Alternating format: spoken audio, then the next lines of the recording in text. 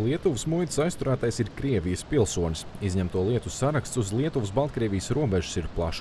Viņa mašīnā bijis vairāk nekā 20 dažādi ieroču rokturi, vairāk nekā 20 ieroču stobru sliedes, jeb stiprinājumu, lai varētu uzlikt papildus ierīces, piemēram, nakts redzamības tēmekli un vēl dažādi specifiski ieroču turētāji un rokturi. No plašākiem komentāriem par notikšo un Krievijas pilsoni, kuram ir Latvijā izsniegta uzturēšanās atļauja, Lietuvas muita izvairās, bet preses relīzē norāda, ka notiek izmeklēšana. Muitas darbinieki medinīku ceļa kontrolas punktā aizturēja mašīnas Jaguar vadītāju, kurš ir Krievijas pilsonis ar uzturēšanās atļauju Latvijā. Preces aizturēts, lai noteiktu to izcelsmi, vērtību un pārbaudītu, vai pārvadātā prece ir militāri vai duāli izmantojama.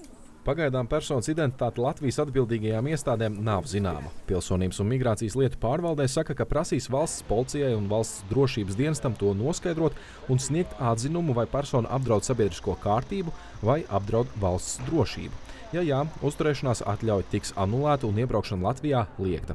Pārvaldē norāda, ka šogad jau anulētas teju 3000 termiņu uzturēšanās atļaujas un vairāk nekā 9000 pastāvīgās uzturēšanās atļauju. Tas nenozīmē, ka tie visi ir kaut kādi milzīgi pārkāpumi vai ļauni, ļauni kaut kādi nodarījumi. Tā ir tādas sadzīviskas lietas.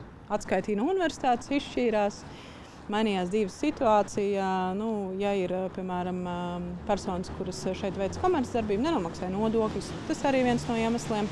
Pārvaldē arī saka, ka šāda rakstura gadījumi ir ļoti reti un līdzīgu piemēru pēdējo gadu laikā nav bijis. Dāvids Fredenfelds, Ivans Milovs, Latvijas televīzija.